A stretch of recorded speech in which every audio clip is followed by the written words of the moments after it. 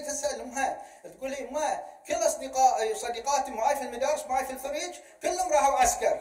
بقيت أنا مع الرئيسه مع الرئيس بقيت أنا بس في المنطقة. كلهم راحوا. أنا شو أسوي بروحي؟ وين ربعي؟ وين أصدقائي؟ وين أشوفهم كل يوم في المدارس؟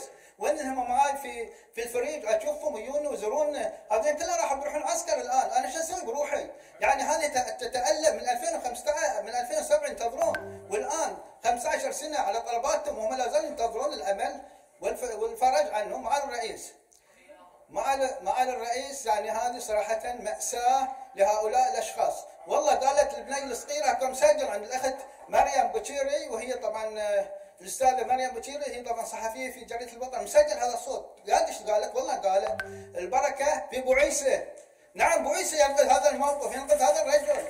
معالي الرئيس إحنا عارفين أنا أتوجه إلى صاحب السمو الملك الأمير سلمان بن حمد رئيس مجلس الوزراء ولي العهد رئيس مجلس الوزراء بأن طبعا يدرسون هذا الواقع إنزين معالي الرئيس هذه الاسكان الآن إيش بتعطي توفير؟ إيش بتعطي توفير الآن؟ بتعطيه قرض 60000 دينار وتعطيه ارض للبناء ما بتعطي طبعا بتعطيه ارض 60000 دينار شلون يشتري الأرض؟ يعني كلها مثل تصورات معالي الرئيس يعني إيش بيسوون فيه؟ مزايا ما تنطبق عليه والبنوك ما بتعطي لأن عدى السن القانوني. فرجاء رجاء رجاء.